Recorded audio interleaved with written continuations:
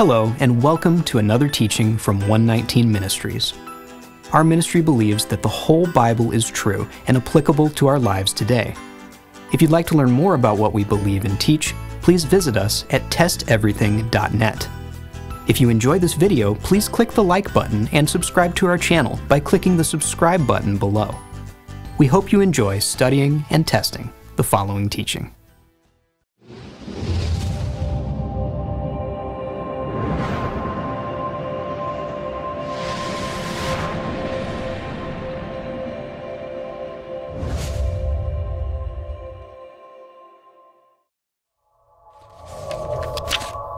The Bible frequently contrasts the flesh and the spirit.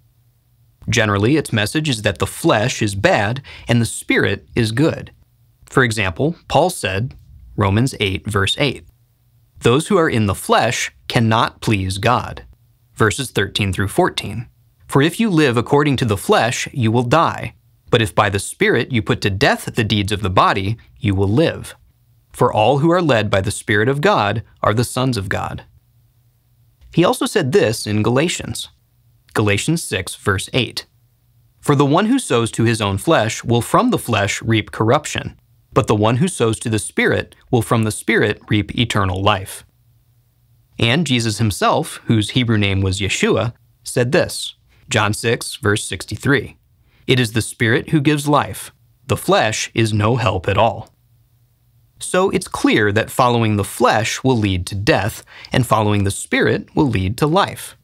But what does it mean to live according to the flesh? How does that cause death? And how does being led by the Spirit lead to life?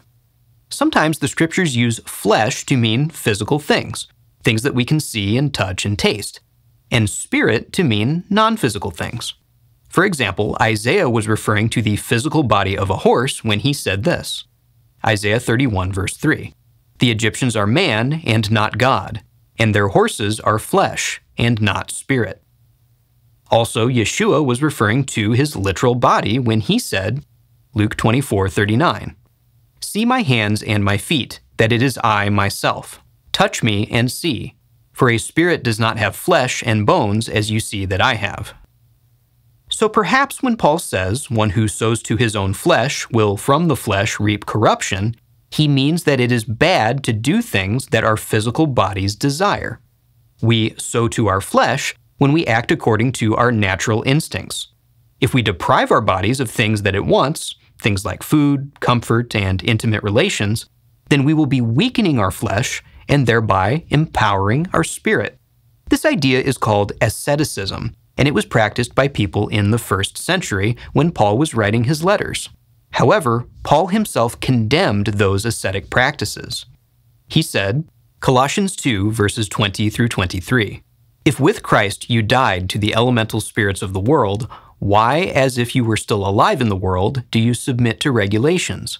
Do not handle, do not taste, do not touch, referring to things that all perish as they are used, according to human precepts and teachings these have indeed an appearance of wisdom in promoting self made religion and asceticism and severity to the body, but they are of no value in stopping the indulgence of the flesh. So, Paul indicates here that depriving the body of pleasure does not stop the indulgence of the flesh. These ascetic practices do not empower the spirit, so they do not lead to life it's clear that Paul was not advising us to deprive ourselves of all physical comforts when he said that being in the flesh will not please God. So we're back to the original question. If living according to the flesh is not the same as doing what our body desires, then what is it? What is Paul getting at when he contrasts the flesh with the spirit? One clue that we can follow is the terms life and death. The scriptures say that following the Spirit brings life, while following the flesh brings death. There are other scriptures that use the same language with reference to obeying God's commands. Here are some of those scriptures Deuteronomy 30, verses 15 through 18.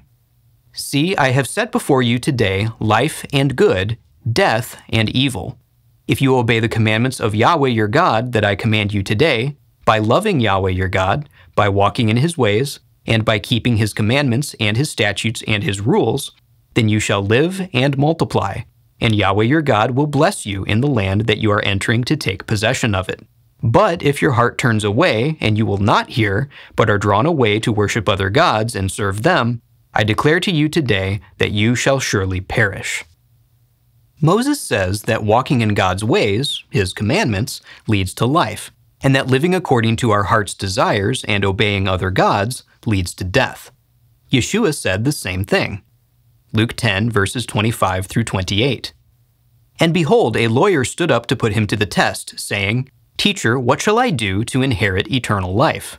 He said to him, What is written in the law? How do you read it? And he answered, You shall love the Lord your God with all your heart, and with all your soul, and with all your strength, and with all your mind, and your neighbor as yourself. And he said to him, You have answered correctly. Do this, and you will live. Both Moses and Yeshua's words align with the way God set things up in the Garden of Eden, where obeying God would lead to life and disobeying Him would lead to death. Genesis 2, verse 9. The tree of life was in the midst of the garden, and the tree of the knowledge of good and evil. Verses 16 through 17. And Yahweh God commanded the man, saying, You may surely eat of every tree of the garden, but of the tree of the knowledge of good and evil you shall not eat for in the day that you eat of it, you shall surely die. Again, if they obeyed God, they would live. If not, they would die. The same concept persists into the New Jerusalem described at the end of Revelation. Revelation 22, verses 14 through 15. Blessed are those who wash their robes, so that they may have the right to the tree of life, and that they may enter the city by the gates. Outside are the dogs and sorcerers, and the sexually immoral, and murderers and idolaters, and everyone who loves and practices falsehood. So, these scriptures indicate that obeying God's commands leads to life, and disobeying God's commands leads to death. Could this be what Paul is talking about when he contrasts the spirit with the flesh? When we read the context of Romans 8, it appears that this is exactly what Paul has in mind. Here are some of his statements from Romans chapter 7. Romans 7, verse 5. For while we were living in the flesh, our sinful passions, aroused by the law, were at work in our members to bear fruit for death. Verse 14. For we know that the law is spiritual, but I am of the flesh, sold under sin. Verse 25. So then, I myself serve the law of God with my mind, but with my flesh I serve the law of sin. It looks like Paul is using the term flesh to mean the desire to sin, and spirit to mean the desire to obey God. The desire to sin will lead to death, but the desire to obey God will lead to life.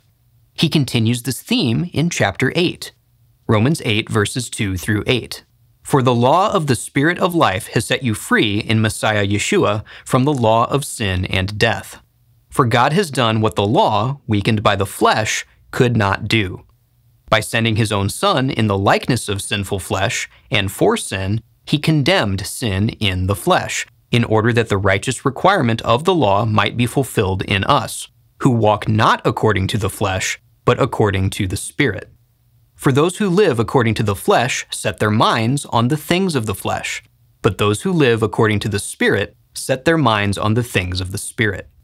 For to set the mind on the flesh is death, but to set the mind on the spirit is life and peace. For the mind that is set on the flesh is hostile to God, for it does not submit to God's law. Indeed, it cannot. Those who are in the flesh cannot please God. Paul says that the mind that is set on the flesh does not submit to God's law, and that such a mindset is equivalent to death. This is the exact same message that we find in Genesis 2, Deuteronomy 30, Luke 10, and Revelation 22. Obeying God's commands leads to life, and disobeying God, sinning, leads to death. So then, this presents a question How does the Spirit lead to obedience to God's commandments? God explains this through the prophet Ezekiel. Ezekiel 36, verses 26 through 27. And I will give you a new heart, and a new spirit I will put within you. And I will remove the heart of stone from your flesh, and give you a heart of flesh. And I will put my spirit within you, and cause you to walk in my statutes, and be careful to obey my rules. Ezekiel says that God's Spirit within us causes us to obey God's rules. Peter said much the same thing when he was being questioned by the high priest. Acts chapter 5 verses 30 through 32. The God of our fathers raised Yeshua, whom you killed by hanging him on a tree.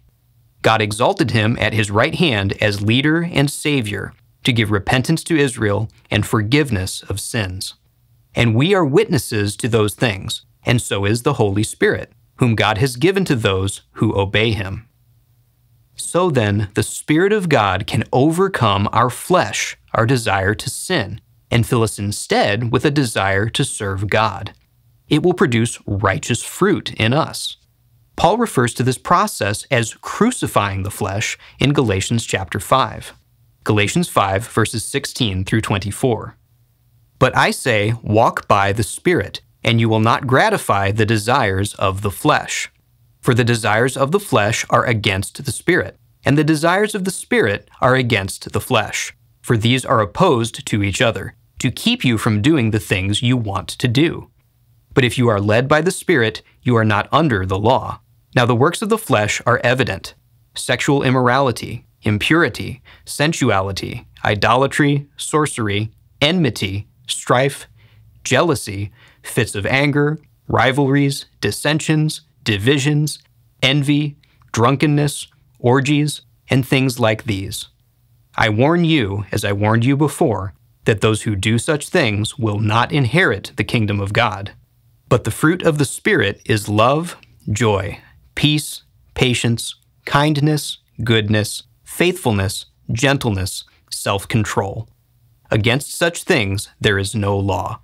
And those who belong to Messiah Yeshua have crucified the flesh with its passions and desires. So, we do not need to reject our physical bodies in order to avoid walking according to the flesh. What we must reject is our desire to disobey God.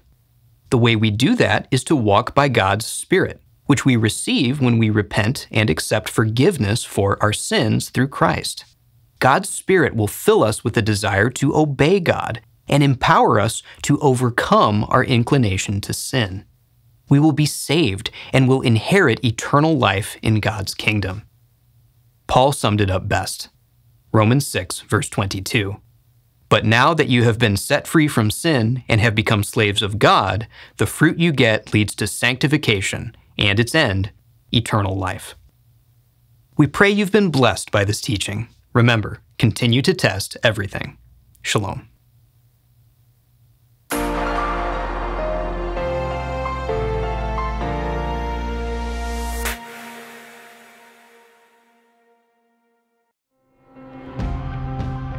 It is because of you, our generous supporters, who make it possible to offer these high quality teachings completely free of charge.